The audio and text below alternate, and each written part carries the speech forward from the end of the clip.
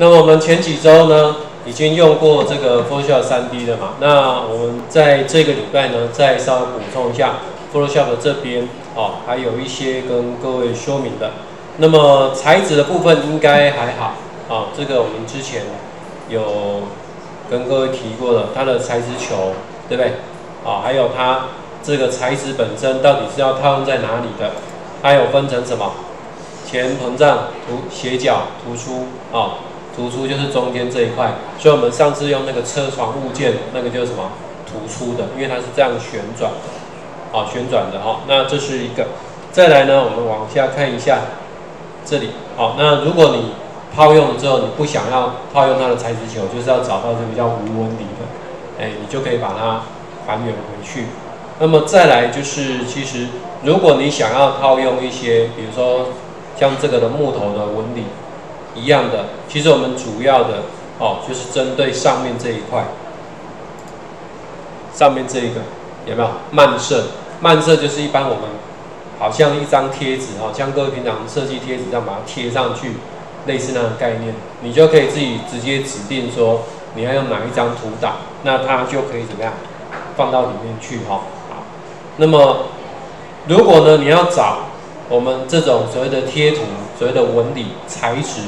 你可以试看看，就是用一个关键字哈，像这里呢有一个网站，这是专门 for Photoshop 的，但其实是没有差啦，跟一般的 3D 软体事实上都适用，好，也就是呢你会找这个关键字有没有，叫做 Texture，这个 T S T U R E，好，那你只要找到这个，它上面都是高解析度的，所以你可以像这样就可以把它下载下来。所以你可以得到比较好的品质，好，这个是给各位稍微参考一下的。那上次呢，我们有用过凹凸的，有没有？上次一张图片怎么把它变三 D？哎，凹凸的部分，其实你就可以适当的去使用。还有什么半透明的？像比如说你要做一个地球，那我地球上面还有云，那云如果把它叠上去，你看像我们上面这个图，你在网络上都可以找到这样的图。那叠上去之后呢？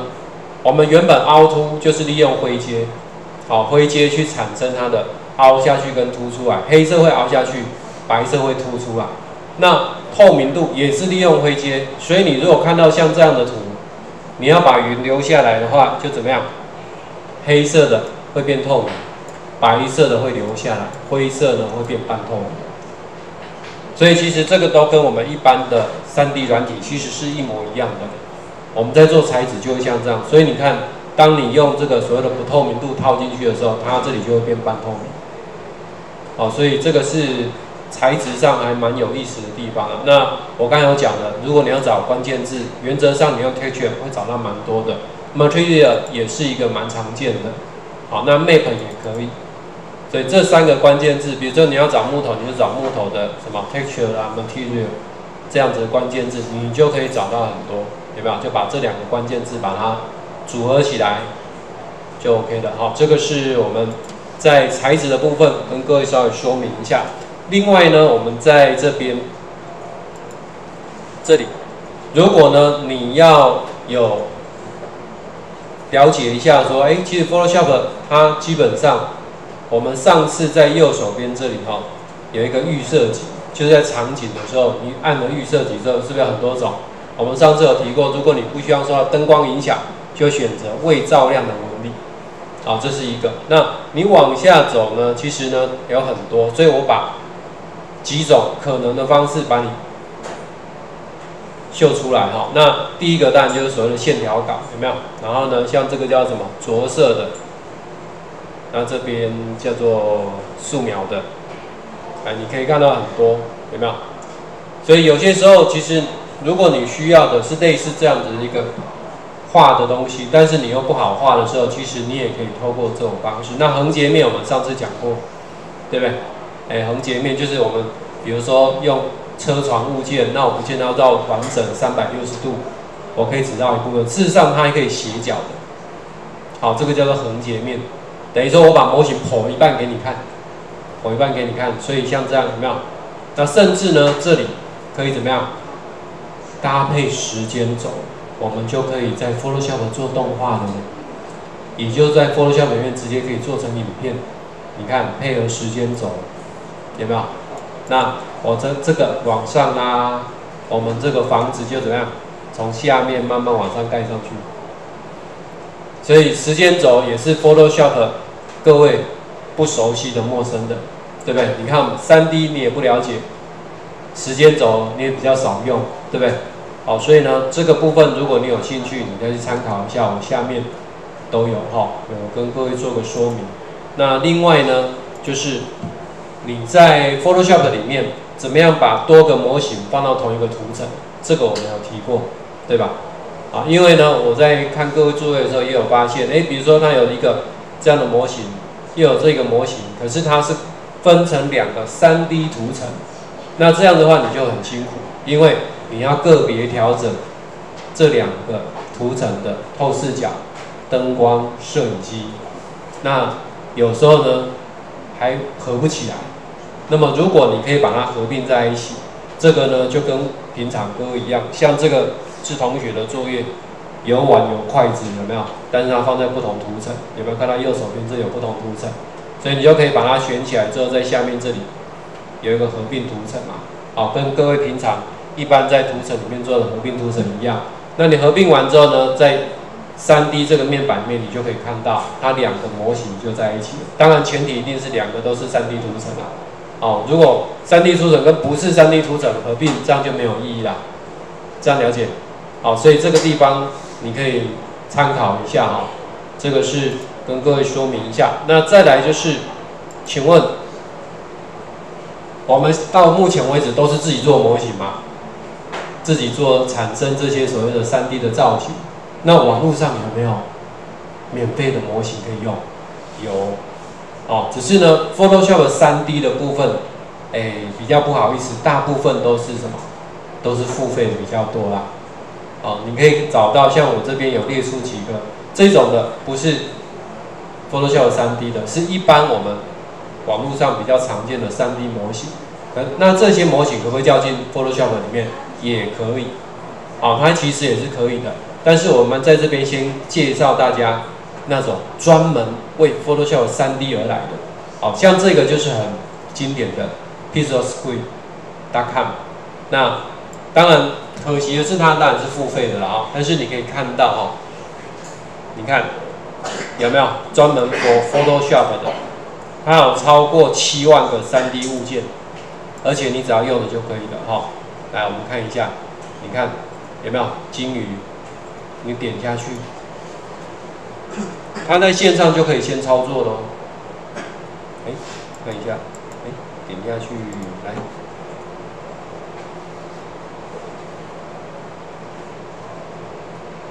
看一下，来这里我看一下分类，建筑的，好，先看看这个的。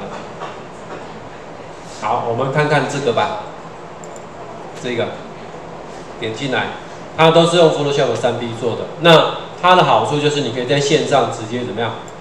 你看，直接转有没有？我可以在线上就直接做这件事情。那你可以在右手边看到有没有下载？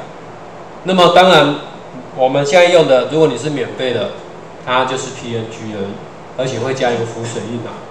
好，那你下载的时候，你还可以选择，哎，我的阴影，也就是说我模型的阴影要不要打开？如果你打开，它在这边有没有看到这里阴影就跑出来了？对不对？好，这阴影就跑出来了哈。所以，如果呢你下载是没有阴影的，那下载下来就是透明的，就背景透明的，直接就可以用。所以这个是这个网站很特殊的地方。那这个呢，也是就是 Photoshop 一个很重要的 3D 的这个网站哦。因为别的网站都没有跟它一样，因为它是完全针对 Photoshop 3D 而来。好像这个 COVID-19 的，对不对？你就在这边等它一下，有没有？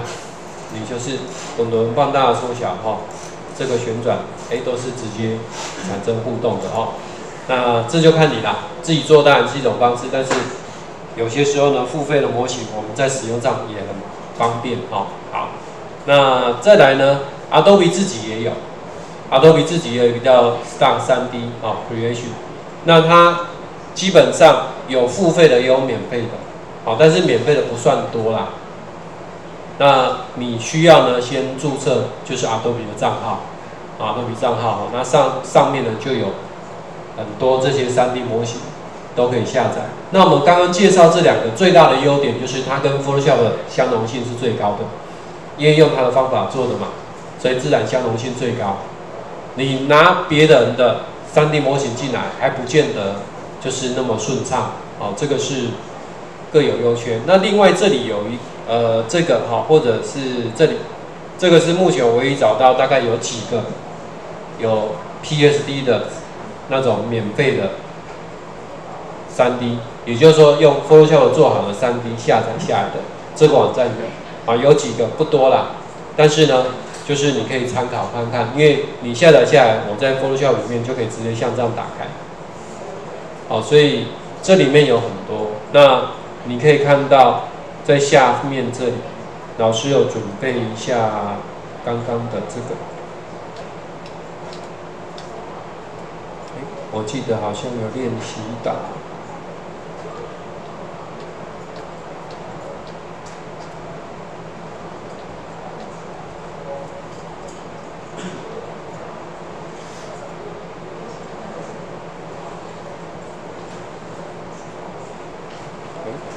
哦，这里好像没有提供哈，不过没有关系了哈，你就简单看一下。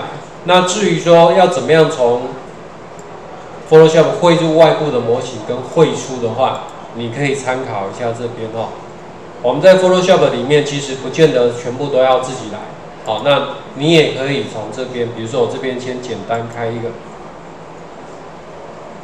好，预设的大小，它就在这个地方，在这里。在 3D 的选单里面，你可以找到有没有从档案新增 3D 图层。它虽然叫 3D 图层，但事实上就是 3D 模型。所以你在网络上找到的模型，如果不是专门 for PSD 的，也就是如果是 Photoshop 做的，是副档名就是 PSD，对不对？那在这边不是的话，你就可以从这边把它汇进来。那一样的，如果你 Photoshop 这边做好了，你要把它汇出去行不行？也可以。在下面这边，这里有一个叫做转存 3D 图层，这个就是 Photoshop 的绘出，所以你要从这边绘入，也可以从这里绘出。那绘出之后，你都可以打到拿到哪里？其他的这些 3D 软体里面。好，那这样子呢，你在使用上就会比较方便。好，所以我稍微简单介绍一下。那如果你有兴趣的，你再去看一看，好不好？好，因为这个。要讲的话，还可以讲蛮久的啦。只是说，我想我们今天的重点就不摆在这边。我先把 Photoshop 部分简单的介绍一下。那下面这个呢，这个是类似有一个软体叫 ZBrush。其实如果你有接触过 3D 的，可能你会对这个软体会比较熟悉。像数媒系的，他们这个几乎是必学的软体之一。为什么？因为呢，好像 3D 雕塑一样。各位，你有？如果有做过那个什么雕塑，哎，我们就可以把它模型打开之后，我可以在这边涂，然后你就看到它怎么样涂到那个材模型的材质上面去。哦，比如说你看 model 在这里，那我把它的这个脸的贴图打开之后，我就在这边画，它这边就会呈现出来。哦，所以像这样有没有像帽子？这也是 Adobe 官方上的一个教学。好，所以这个部分呢，如果你有兴趣，你可以再去看一看啊。OK，所以我们先把跟 Photoshop 需要各位在知道的一些的内容简单补充在这里。那下面这边也有老师上课的教学影片，好，所以如果你有兴趣想要再多了解的，你再打开来，好不好？